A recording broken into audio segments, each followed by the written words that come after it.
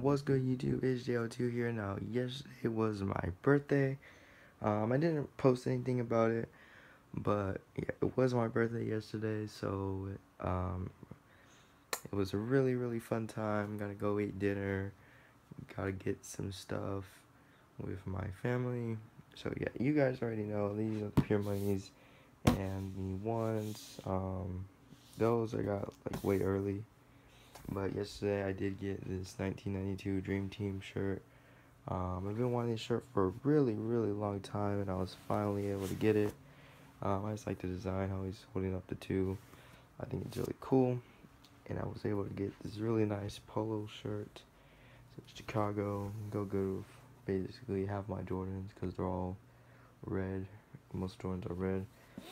Um, it has this three, this polo back, three and it had like the Chicago right there and the Polo logo. Yeah, really nice shirt. Really, really like it.